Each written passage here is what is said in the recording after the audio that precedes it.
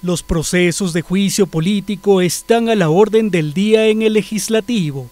Ahora el CAL calificó un tercer pedido de censura al presidente del Consejo de Participación, José Tuárez, y un segundo para el consejero de ese organismo, Walter Gómez, ambos por supuestamente haber realizado actividades de proselitismo político, acción que está prohibida dentro de la Ley de Participación Ciudadana.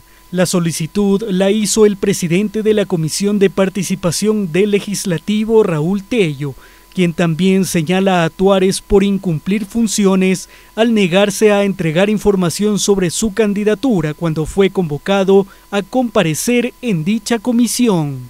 Está previsto que para el próximo lunes 29 de julio los cuatro consejeros acusados, José Tuárez, Rosa Chalá, Walter Gómez y Victoria de Sintonio, acudan a la Comisión de Fiscalización de la Asamblea Nacional para presentar sus respectivos descargos.